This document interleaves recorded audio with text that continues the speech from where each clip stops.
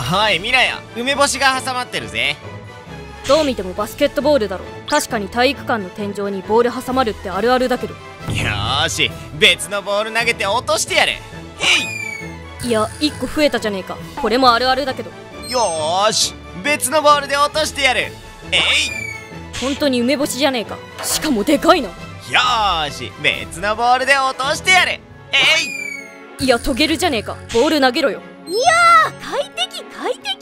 快適なのかよ。どう見ても狭いだろい今度こそ別のボールで落としてやる。へいいや爆弾。爆発したらボールどころか天井ごと落ちてくるわ。爆弾だ！こんな近くで初めて見たよ！近いからこそ危険だとは思わないのか。今度こそ別のボールで落としてやる。えいいやそれボールじゃなくて坊主だろ。罰当たるぞ。今度こそ別のボールで落としてやる。えいいや梅干し投げるなよお前も食べるな。わあもうください。えい何やってんだよ。おかわり。えあ。